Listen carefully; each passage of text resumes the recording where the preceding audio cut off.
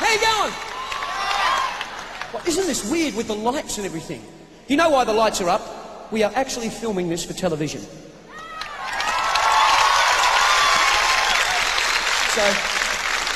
so please, don't, don't let it intimidate you, although it's intimidating us a fair bit.